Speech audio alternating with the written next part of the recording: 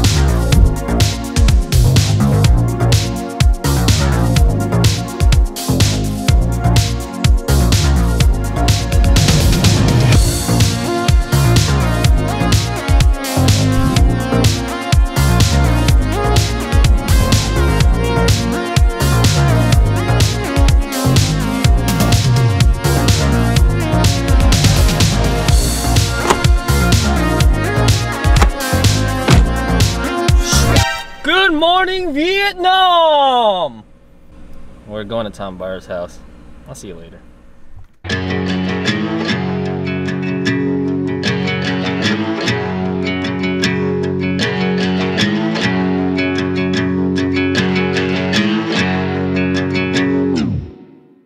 Today, we were out collecting Manzanita with legendary aquascaper and legendary collector of Manzanita and all things hardscape, Tom Barr. Found some good pieces here. They're just everywhere. Look at this piece. Nice and swirly right there. Really awesome. Let's go find some more of these and bring them home.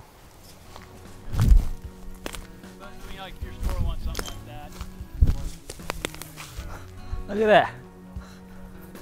It's just everywhere. There's a nice piece right here. Right there. Right? Just take off a little twigs. And you'd be good. Other stuff we have is, you know, the, the wood like this.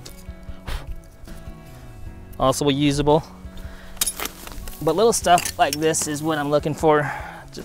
You use a lot of the single twigs and make a, a big, big, big piece out of it. So very useful. Check this one out. Right? Looks like exactly like the one I have at home um, in my tank. So just cut off the little pieces here. You want to leave the bigger, bigger, fatter ones. I think that'll look great with some moss tied to it or some Anubias. But uh, let's keep on collecting. So I think this is what the bloom looks like from the manzanita. Um, comes off right off the leaf here. Let me let me pick that up for you. You see that there? It's just attached to the leaf like that. I think it's quite beautiful. Looks like a pair of testicles. Look at this piece right here.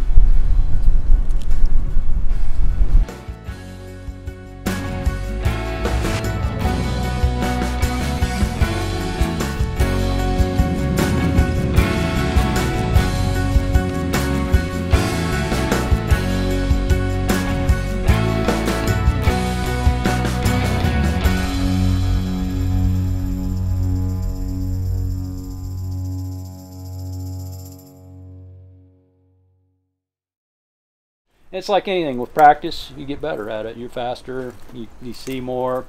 It's kind of like an obvious thing. It's like oh i don't have to sit and think and ponder. I just do it and you know okay that's where that's going to go and all right yeah. And it was like that with you know aquascaping with like mike and jeff Senske.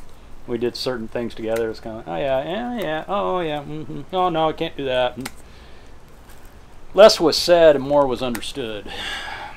You know it's like that with a lot of artists i think Yeah. they kind of know where it's going, what's going to do, and um, you know, you just kind of know. It's like there's this. You come to, even if you come from all different sorts of uh, paths, you end up in a lot of the same spots. Like Okay, that's that's what come to the same conclusion from independent independently. Come to similar confusion conclusions, not confusions. That's something else.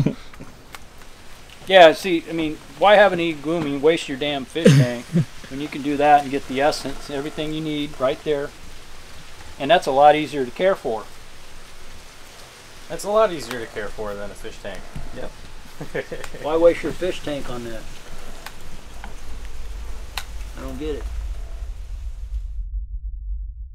If I was a flower growing wild and free, all I'd want is you to be my sweet honeybee. And if I was a tree growing tall and green, all I'd want is you to shade me and be my leaves. Oh man, we're back at it. We're here at Oceans Aquarium. Let's take a look around because this is my favorite store here in San Francisco.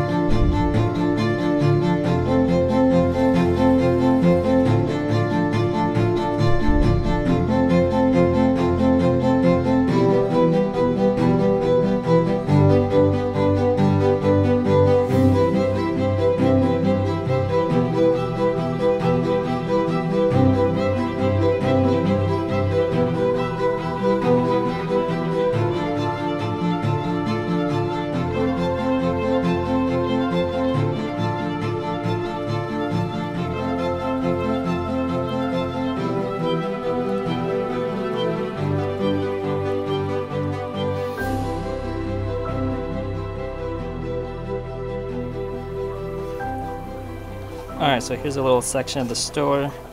This is a nice little hexagon tank with uh, crystal reds. It's exactly the same as we left it here about nine months ago. Very cool. Um, next we got the rummy nose tank that's on the bottom here. Nice giant val, some crypts. Uh, a lot of Pellia everywhere. I'm not sure if I said that right, but it's like looks like some washer tank. Here we got some nice looks like black neons. But lots of lots of snails. Got a pleco right there. Right in the center. Probably not too good looking right now, but there's some snails, a bunch of Malaysian trumpet snails, olive nerites. Really, really awesome tank these guys, no water change. Actually, a lot of these tanks are just no water change. Just really, really deep substrate. Look at that. Look how deep that substrate is. And supposedly, these fish have been in here for, I think, 20 years, I think they said.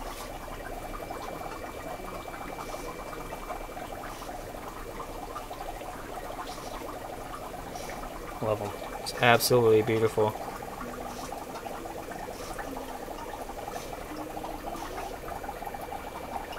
The top is just like it's where it's at, the bird's eye view. That's the best view right there. Lots of Süsswassertang or tang or Pellia. Pretty sure that's Pellia right there. It's a more rounder tip. Here's some more tanks right here. You gotta appreciate these for what they are. It's just the tanks are old, but man, are they are they beautiful. Got some angelfish here on moving. Don't want to trip over anything. Uh, dwarf aquarium lilies with some angelfish and some rose lines, some Congo tetras.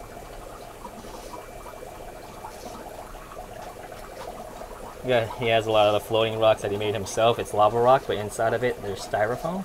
Uh, but when there's no styrofoam in it, he ties the fishing line on it. So very cool.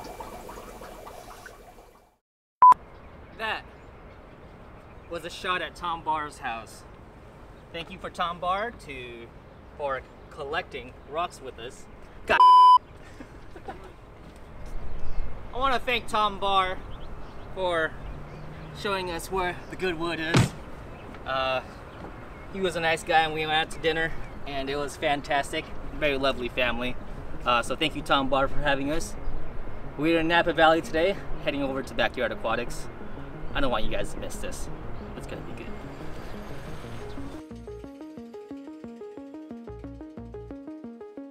Thanks to Tom's lovely family, and I wish to visit him again.